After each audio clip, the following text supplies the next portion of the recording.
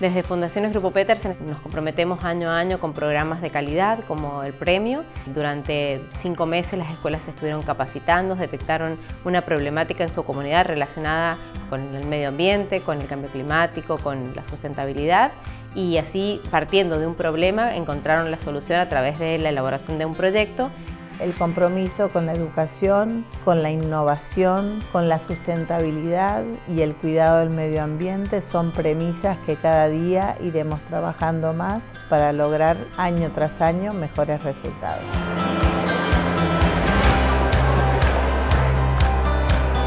Haber llegado a esta instancia es magnífica, la verdad que es un día de fiesta para las escuelas sanjuaninas que participaron. Cuando nos dijeron que teníamos que venir para acá, nos dio mucha felicidad y nosotros venimos a participar y a dar todo lo que podemos.